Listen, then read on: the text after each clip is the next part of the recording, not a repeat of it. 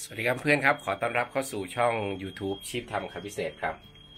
ครับผมกำลังจะทำอาหารเช้ารับประทานนะครับ ในวันจักรีวันที่ 6 เมษายน 2563 นะครับ ก็จะทำฟักทองผัดไข่ ใส่เต้าเจี้ยวนะครับ แล้วก็ใส่พริกหน่อย ก็เป็นสูตรของผมเองนะครับ ก็ตอนนี้ก็กำลังเตรียมนะครับกำลังเตรียมฟักทองนิดนึงกำลังเตรียมฟักทองด้วยการหั่น นี่ครับก็หั่น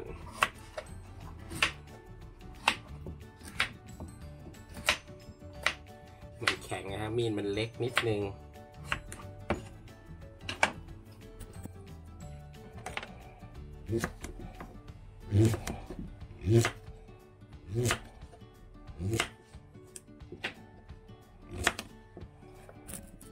ตอนนี้ผมก็หุงข้าวนะครับ ข้าวข้าวข้าว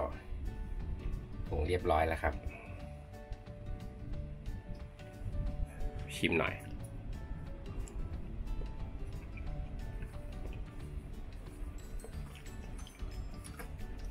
แข็งไปนิดนึง ใส่น้ำน้อยไปหน่อยครับแต่ก็โอเค พอดีเปลี่ยนข้าวยี่ห้อใหม่ครับต้องเพิ่มน้ำอีกนิดนึง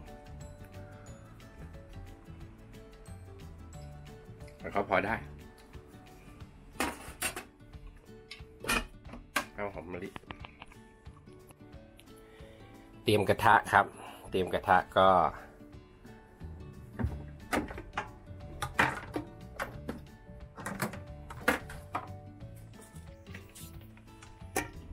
เสียบไฟ เตรียมกระเทียมเตรียมพริกครับ ครับเพื่อนๆครับตอนนี้ผมก็เตรียมพริกนะฮะพริกพริกขี้หนูหั่นเป็นเฉียงตำยาวนะครับเฉียงตำยาว เพื่อให้นี่ครับผมก็เตรียมพริกไว้นะครับ หั่นหั่นหั่นตามยาวครับ หั่นตามยาวเพื่อให้สีสะให้ดูคล้ายๆแบบผัดผัดสปาเกตตี้เบคอนอะไรเงี้ยนะฮะเหมือนกันฮะให้ใหญ่ๆหน่อย กระเทียมก็หั่นตามขวางครับ เดี๋ยวเตรียมที่จะคลุกแล้วครับ เตรียมไข่ไว้ เตรียมไข่ไว้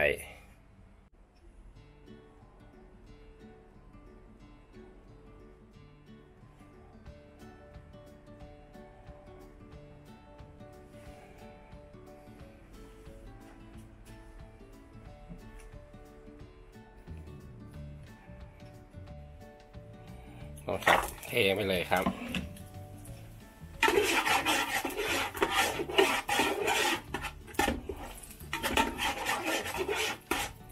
อารมของพริกครับ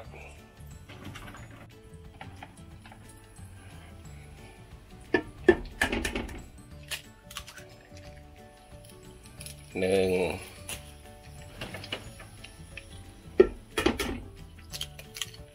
สอง แล้วก็สามครับ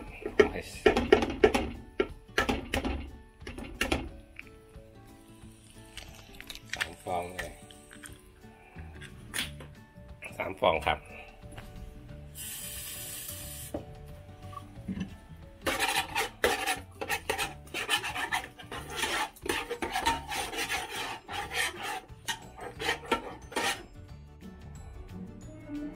ใน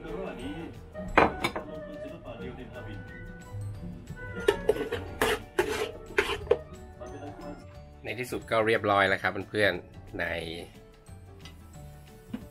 อาหารของผมครับ อาหารเช้าของผม ยกเสิร์ฟใส่จานเล็กๆ นี่จานเล็กๆครับ โอเค เราไปทานกัน ก็ตักข้าวเรียบร้อยแล้วครับมาแล้วมาแล้ว ผมชอบทานแบบอารมณ์ตะเกียบฮะอารมณ์ตะเกียบนี่ฮะ ฟักทอง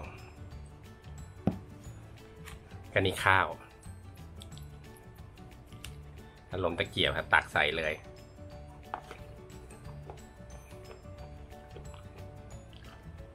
ฟักทองจะแข็งนิดนึงไม่ค่อยนุ่ม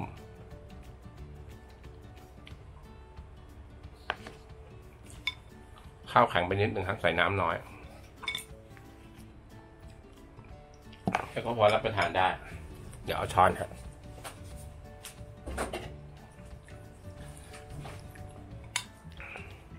สิ่งที่อร่อยคือตรงนี้ เอากระเทียมตัดเข้าไป มีไข่ ไข่ก็ทำให้อร่อยอยู่แล้วฮะอืมสีแดงๆ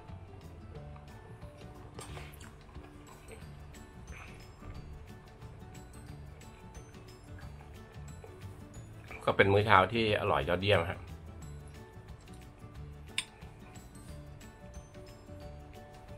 ทำทานเองทำง่ายๆครับอันนี้เป็นฟักทองที่เหลือจากทำขนมนะฮะเป็นฟักทองที่เหลือจากทำขนมผมก็มาผัด แล้วมีไข่ มีพริก มีกระเทียม มีข้าวแค่นี้ก็ได้หนึ่งมือ้อเป็นบรันช์เลยฮะรวมพร้อมกันไปเลยทีเดียวอร่อยฮะ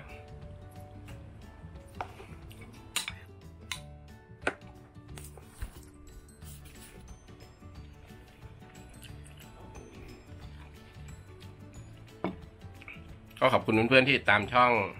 YouTube ชิปทำคำพิเศษนะครับ